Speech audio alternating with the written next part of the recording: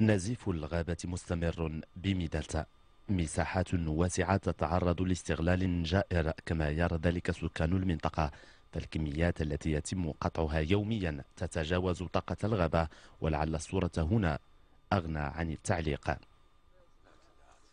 بالنسبة للغابة ديالنا كنشوفوا هذا الاستنزاف آه، الممنهج ديالها آه، كتشكل واحد الخطر كبير بالنسبة لنا حنايا. آه، لا بالنسبة للناس اللي جنب الواد لا بالنسبة للساكنة اللي في حوض ملوية من هنا حتى الوجدة كاملة. حيت كلشي هادشي هذا الحجر هذا كيهبط. كما كتلاحظوا راه ما بقاش عندنا التراب الفوق ولا غير الحجر.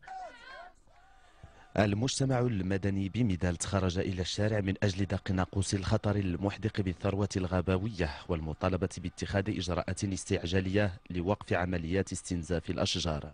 الساكنة ديال ديال ديال مدار الحراوي والجماعه ديال تيزدق وحتى السكان ديال ميدالت كاملين هما كيطلبوا طلب واحد.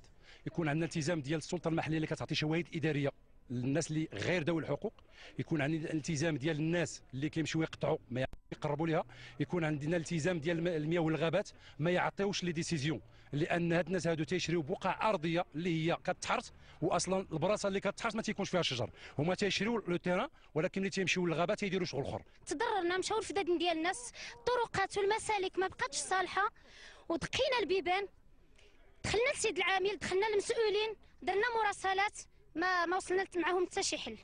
من جانبنا اتصلنا بالمندوبية الإقليمية للمياه والغابات التي أكدت أن أصل المشكل قانوني متعلق بملكية الأراضي فيما لم نحصل على أي معلومات إضافية من طرف السلطات المحلية ليظل هذا الملف عالقا إلى إشعار آخر.